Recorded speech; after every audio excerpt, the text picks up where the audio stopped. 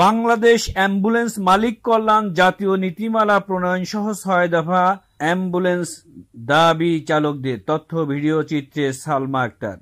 অনতিবিলম্বে অ্যাম্বুলেন্সের জন্য জাতীয় নীতিমালা প্রণয়ন সহ ছয় দফা দাবি জানিয়েছেন এই সেবা খাতের চালকরা। সোমবার দশই জুলাই ঢাকা রিপোর্টার্স ইউনিটির সাগর রুনি মিলনায়তনে বাংলাদেশ অ্যাম্বুলেন্স মালিক কল্যাণ সমিতি আয়োজিত সংবাদ সম্মেলনে সেবা খাতে বাংলাদেশ সড়ক পরিবহন কর্তৃপক্ষ কর্তৃক অ্যাম্বুলেন্সে প্রাইভেট কারের মতো আয়কর নেওয়ার প্রতিবাদে এসব দাবি জানান তারা। সংবাদ সম্মেলনে লিখিত বক্তব্যে বাংলাদেশ অ্যাম্বুলেন্স মালিক কল্যাণ সমিতির সাধারণ সম্পাদক মোহাম্মদ বাদল মাতব্বর বলেন, অনতিবিলম্বে দাবি আদায় না হলে ভবিষ্যতে ধর্মঘট সহ কঠোর কর্মসূচির হুঁশিয়ারি দেন সমিতির নেতারা। সংবাদ সম্মেলনে আরও ছিলেন বাংলাদেশ অ্যাম্বুলেন্স মালিক কল্যাণ সমিতির সভাপতি মোহাম্মদ গোলাম মুস্তফা, সাধারণ সম্পাদক মোহাম্মদ বাদল মাতুব্বর সহ সভাপতি মোহাম্মদ দবির হোসেন, যুগ্ম সাধারণ সম্পাদক মোহাম্মদ উজ্জ্বল হোসেন চৌধুরী,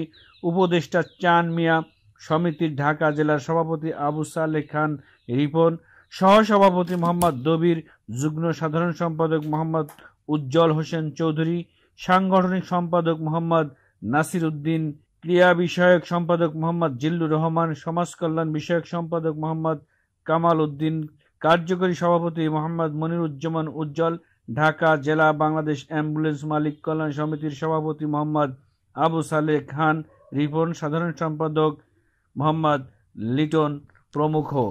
বক্তারা আরও বলেন। আপনার প্রায় পঁচিশ হাজারের মতো না পঁচিশ হাজারের মতো কর্মচারীর সাথে নিয়োজিত আছে। একজন ড্রাইভার থাকলে একজন সহকারী থাকে। আর কিছু অ্যাম্বুলেন্স আছে। প্রাইভেট থেকে অ্যাম্বুলেন্সে রূপান্তরিত করা হয়। সেই গাড়ির সংখ্যা এখন খুবই কম। আমাদের এই ঢাকা সিটির মধ্যে নেই।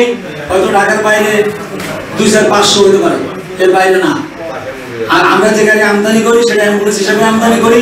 অ্যাম্বুলেন্স হিসাবে বিআরটি থেকে রেজিস্ট্রেশন দেয়। অথচ আমাদের আয় করতে নাই প্রাইভেটে অবৈধভাবে। তারা নিচ্ছে কোথায় যাচ্ছে এইটা আপনাদের মাধ্যমে আমাদের জানার খুব ইচ্ছে কিন্তু সাধারণ সম্পাদকের মুখে একজন একটা কথা পাইলাম যে মানুষ চাইলেই একটা গাড়ি কিনে অ্যাম্বুলেন্স বানায় ফেলতে পারতো এই ব্যাপারে আপনাদের সমিতির পক্ষ থেকে মানে আপনাদের যে সংগঠন এই সংগঠনের পক্ষ থেকে কোনো ব্যবস্থা নিচ্ছেন আমরা চাই যে কেউ যেন কোনো মাদক ব্যবসায়ী অ্যাম্বুলেন্সের ব্যবসায় জড়িত না হোক যে কেউ যেন অ্যাম্বুলেন্সের ব্যবসায় না আসতে পারে যাদের সেবা মন- মন মানসিকতা আছে। তারা অ্যাম্বুলেন্সের এই ব্যবসা আসলে আমরা চাই। সেই ক্ষেত্রে যদি একটা নীতিমালা হতো, আমাদের জন্য সুবিধা হতো। সেই নীতিমালার মধ্যে অ্যাম্বুলেন্সটার কালার কি হবে অ্যাম্বুলেন্সের মধ্যে কি কি থাকা দরকার অ্যাম্বুলেন্স কীভাবে চলবে অ্যাম্বুলেন্সের জন্য পাশাপাশি অ্যাম্বুলেন্সের জন্য আমরা আলাদা লেন চাই। অ্যাম্বুলেন্সের জন্য আমরা দ্রুত রোগী পৌঁছায় দেওয়ার জন্য হসপিটালে আমরা আলাদা লেনদের দাবি করছি। অ্যাম্বুলেন্স মালিক কল্যাণ সমিতির পক্ষ থেকে আমাদের আপনাদের সামনে হাজির হয়েছি ভারাক্রান্ত মন নিয়ে। নানা দুর্যোগে, দুঃসময়ে আমরা মানুষের পাশে থেকে বিভিন্ন বিভিন্ন সময়ে নানা সমস্যা নিয়ে মুখ বুঝে সহ্য করে আসছি। দেয়ালে পিঠ থেকে যাওয়ার অনেকটা বাধ্য হয়ে হাজির হয়েছি আপনাদের সামনে। করোনা মহামারীর সময় দেশের মানুষ জীবন বাঁচাতে ঘরে নিরাপদে অবস্থান করেছে। মৃত্যুর ভয় উপেক্ষা করে জীবনের ঝুঁকি নিয়ে।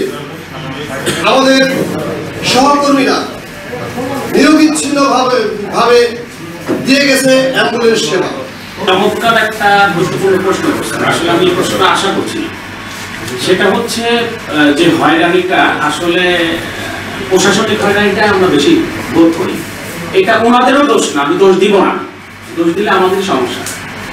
আমাদের আইনের সমস্যা। আমাদের আইনে আমাদের যে রেজিস্ট্রেশনটা আছে রেজিস্ট্রেশনে স্পষ্ট করে লেখা আছে, এটা ভাড়াকৃত নয় তাহলে পুলিশের সামনে দিয়ে, প্রশাসনের সামনে দিয়ে যখন আমি যাব, তখন সে আমাকে ধরবে এবং ওই যাত্রীকে জিজ্ঞেস করবে, কত টাকা ভাই ভাড়া? সে বলবে, এক হাজার টাকা।